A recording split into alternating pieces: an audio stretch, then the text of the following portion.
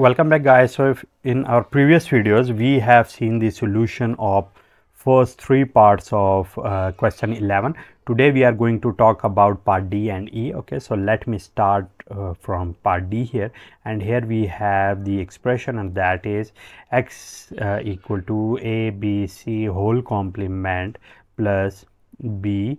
And with it i have e f plus g complement okay? So uh, first step here is again the same that i have to see that how many inputs will i have. So the domain of it is a b c d e f g okay? So i have to write them here. So uh, the domain of it is let me write it here a b c d e f and G okay? So this is G and let me draw lines for them. These are the input lines okay? So we have these input lines okay? To it I can very easily see that here we have this expression and then this expression and these are combined together by this OR gate. And uh, again I am not restricting restricting myself to a two gate circuit so therefore I can use uh, uh, any number of inputs to a gate as uh, uh, possible. So so here I have ABC and the complement of it. So let me use this first gate and that is the AND gate here. So the AND gate here is here okay? And to it first input is here second is here and third one is here. So the input to it is a b c okay? And what i will have here i will have here a b c. And what i have to do i have to invert it. So therefore i'm going to use this inverter here. And therefore what i will get a b c whole complement okay so this is the first uh, input which i have here and this is here this one after what i have to do here i can see that here the second part and here i have b and e f g complement while here I have to first multiply e and f and with it I have to add this g complement. So let me start it with this multiplication which is inside of these brackets. So let me start uh, with this multiplication. So e and f are multiplied together.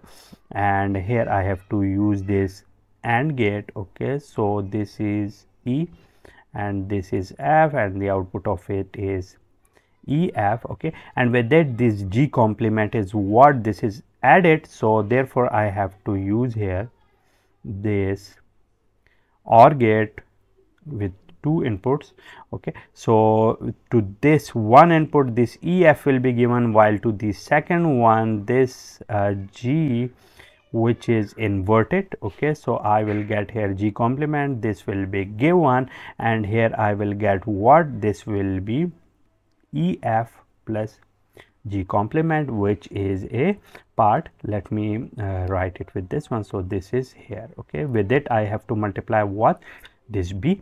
Uh, so here I have this one and with it I have to multiply this B okay? So therefore let me use this color uh, which is let me use the same color here. So the color here is this one and this is again a two input AND gate okay? So here i have to multiply this one with what with b okay? So i have here this is b which is given to it. And what i will get i will get here b ef plus g complement okay? So now i have these two inputs which are two separate parts first part is here. This is a first part while this one is the second part and these are combined together by this OR gate okay? So let me draw a final OR gate with this blue color.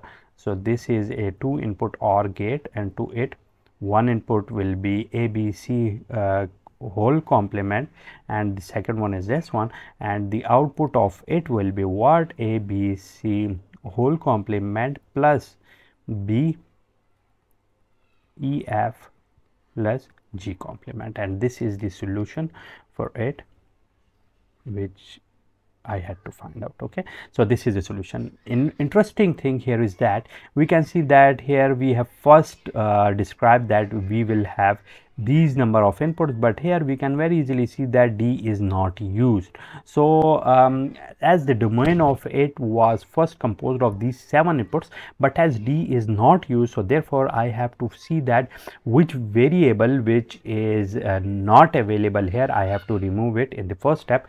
Uh, here i have solved it and to show you that this is in between them and it is not used so therefore i will not use it either but the domain of it will be composed of a b c d e f uh, or uh, sorry a b c e f g. Okay so these three and these three these will be composed of the domain of it. Okay so this is the solution of part d here. Okay uh, similarly for part e let me move around somehow.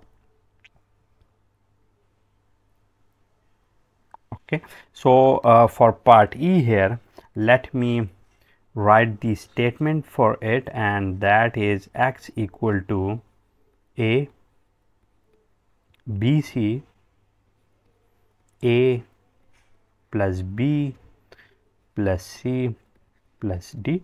Okay so here i have this question. So, uh, what are the steps here? Uh, the first step is to see how many inputs do I have here. So, again the number of inputs are 4 A, B, C and D.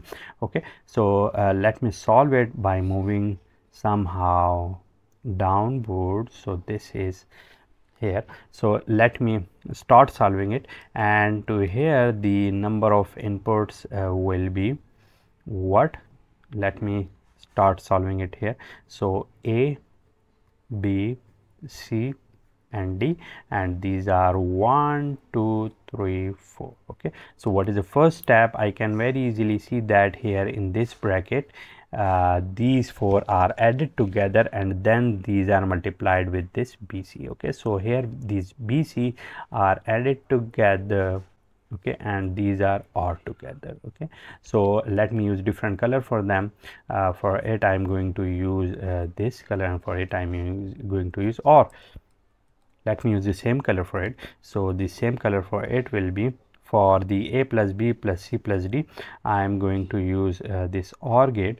So this or gate will be here with four inputs okay? So one two three four and the output of it will be here. So to it i will have this one a b c okay?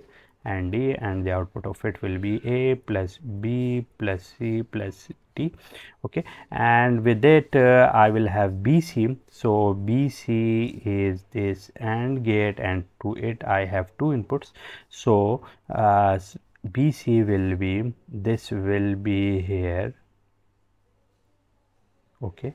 So this is B and this one is here. Okay. So these are the two inputs taken from it and I will have here BC okay. So now we can see that uh, very clearly that here I have B while here I have C. And these are multiplied together which can be seen here. And this is by using this AND gate okay so here I have to use a two input AND gate to which I will have two inputs.